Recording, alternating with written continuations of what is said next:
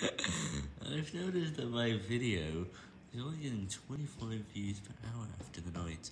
I also checked on the Nile Red Shorts videos in an attempt to speed up my video, which I did just before he had to leave, and I only did it on three of its videos, so two of them might not be checked. And also, I didn't check the rest of the videos from Jeremy Lynch or anything else, because it was just not enough time.